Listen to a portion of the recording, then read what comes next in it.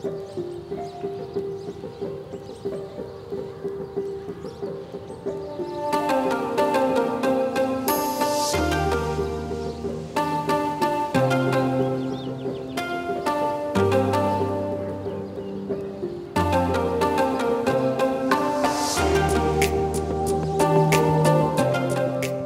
the first time ever. Oh, there's something on my lens.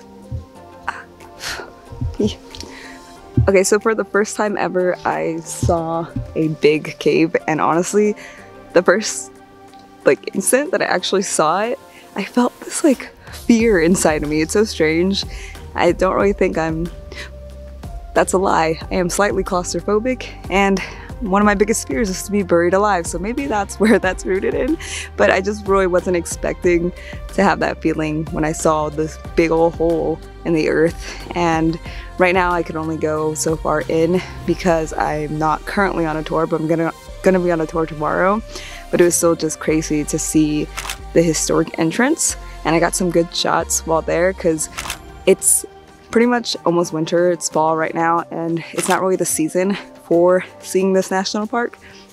So I kind of had it to myself for the most part. Some people would pop in and out, but I feel like I got some pretty nice pictures without anyone in them, which is ideal.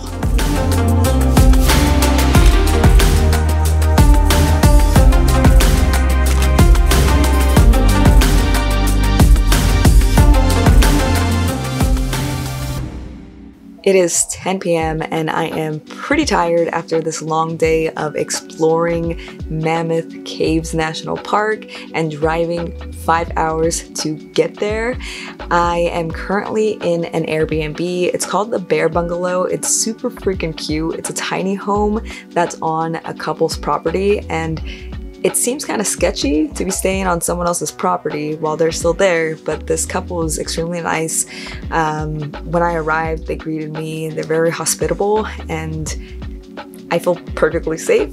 And this little tiny home is so accommodating and warm and cozy, and I am so ready to sleep.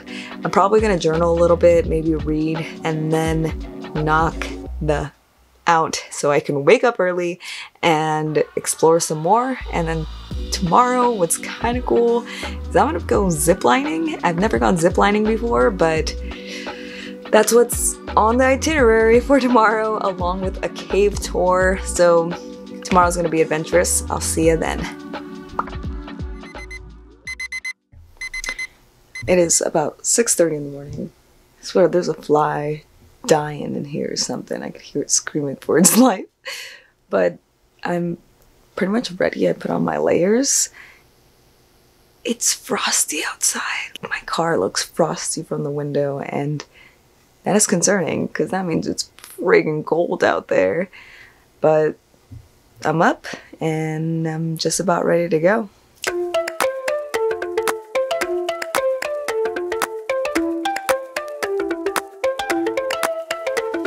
it is ridiculously frosty. Yeah. Okay, well, I'm just gonna put water on this.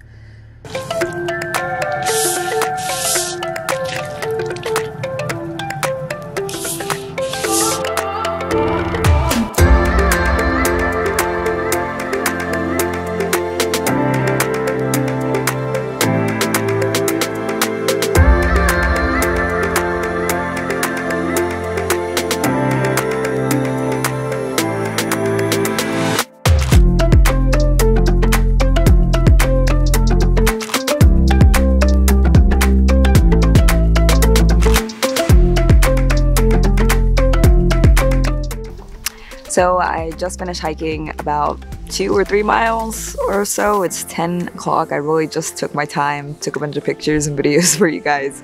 And now I am kind of just hanging out until zip lining at 11.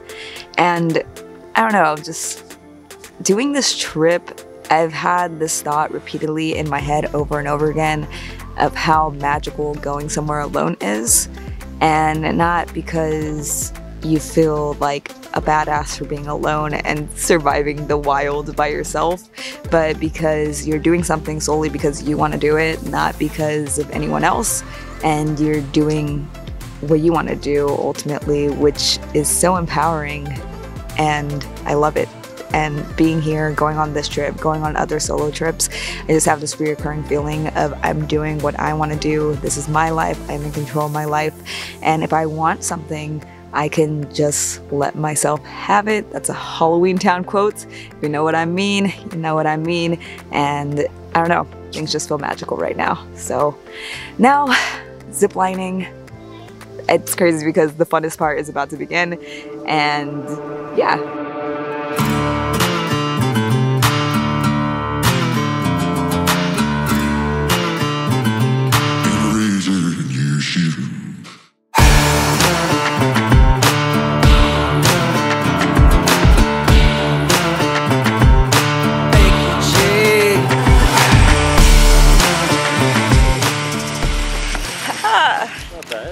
You have a good time? Yeah, definitely. Yeah.